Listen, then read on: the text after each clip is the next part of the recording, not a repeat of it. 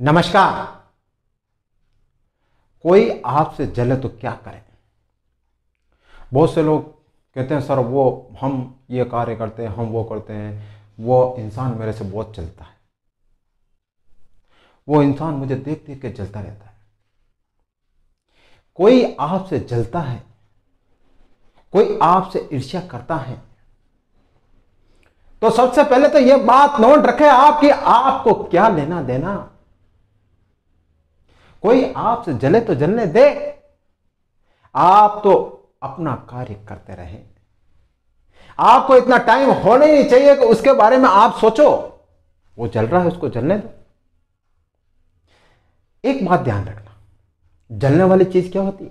जलने वाली चीज़ चाहे कोई सी भी हो, अहंकार, घमंड, वस्तु या इंसान, जो हमेशा जलती रहती है ना वह एक दिन राख हो जाती है। चाहे वह इंसान ही क्यों ना हो। इसलिए अगर आपसे कोई जल रहा है, आपसे कोई ईर्ष्या कर रहा है तो करने दे। वह एक न एक दिन खुद ही राख हो जाएगा। आप क्यों सोचते हो उसके बारे में? आप अपनी तरक्की पर ध्यान दे।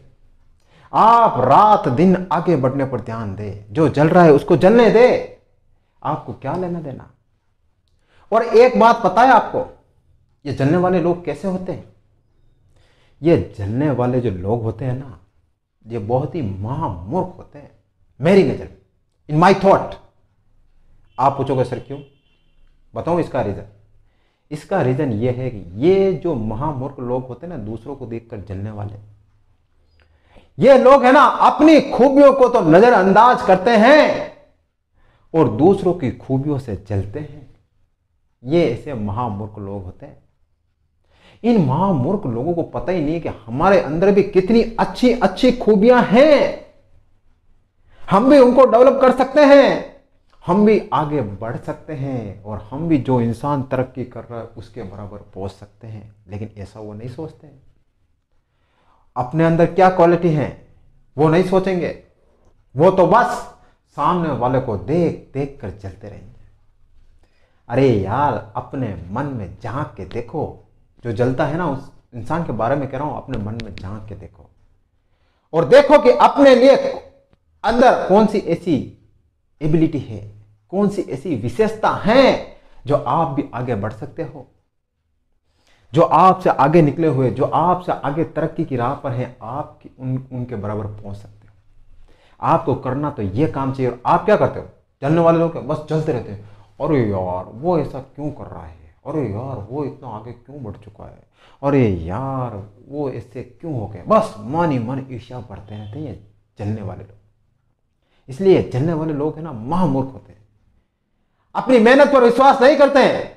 अपने अंदर कितनी खूबियाँ हैं वो नहीं जानते हैं। बस दूसरों की खूबियों से जलेंगे। इसलिए ध्यान रखना आप। अगर कोई आपसे जल रहा है तो जलने दे। वो खुद ही एक दिन राख हो जाएगा। वो एक ही, वो खुद ही एक दिन मिट्टी में मिल जाएगा। हम क्या करें? जलने दो उसको।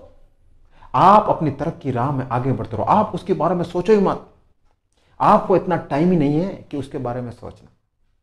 इसलिए जीवन में ध्यान रखना कि जो आपसे जले उसको जलने देना, क्योंकि ध्यान रखना जलने वाली चीज़ हमेशा राख होती है। और जो आपसे जल रहा है ना, वो एक न एक दिन राख हो जाएगा।